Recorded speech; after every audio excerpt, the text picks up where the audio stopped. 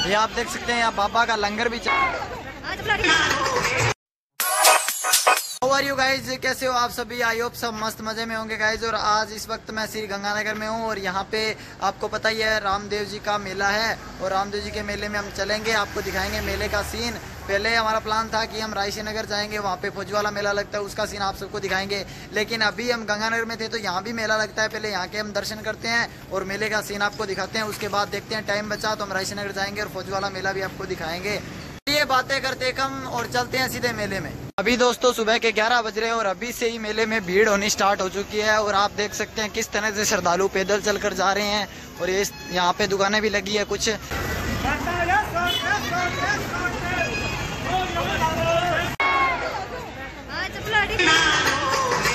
अभी हम पहुँच चुके हैं बाबा रामदेव जी के मंदिर पे। पहले दर्शन कर लेते हैं, उसके बाद मेले का सीन आपको करवाएँगे। देख सकते हैं बाबा रामदेव मंदिर मेरे ठीक सामने है, अभी चलते हैं, पहले दर्शन करते हैं, उसके बाद आपको मेले का टूर करवाएँगे। दोस्तों, आप देख सकते हैं, बहुत लंबी लाइन लगी है दर्शनों के लिए तो अभी हमें टाइम लगेगा काफ़ी, मुझे लगता है घंटा, दो घंटा आराम से जाएगा, उसके बाद दर्शन कर पाएँगे। बहुत लंबी भीड़ लगी है, आप देख सकते हैं।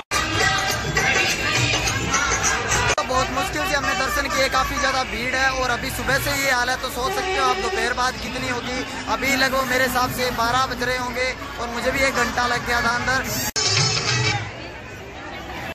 ये आप देख सकते हैं, यहाँ बाबा का लंगर भी चल रहा है।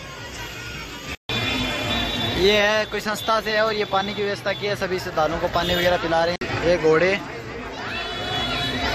हैं। ये यहाँ पे फूल बिक रहे हैं। आंटी, कितने का एक फूल? है?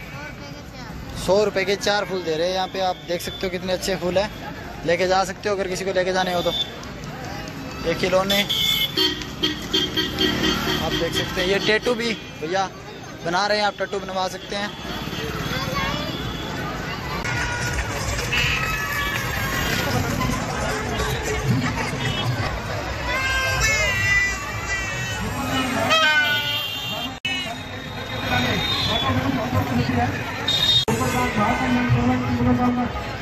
ये कितने का भैया? कितने का छोटा पचास का, बड़ा सौ का। आप देख सकते हैं। यहाँ पे भी पीछे लंगर चल रहे हैं और यहाँ पे खीर बनाई जा रही है तुम भी देख काफ़ी टेस्टी खीर है।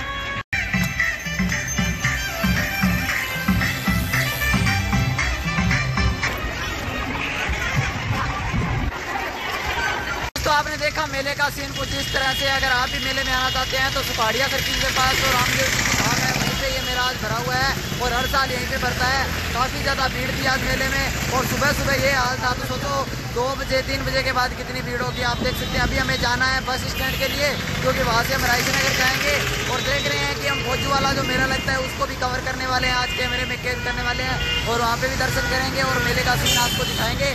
तो चलिए चलते हैं बस स्टैंड और मिलते हैं आपको अगले ब्लॉग में। तब तक आप हमारे चैनल को सब्सक्राइब कर दीजिए वीडियो को शेयर कर दिए thank you bye bye guys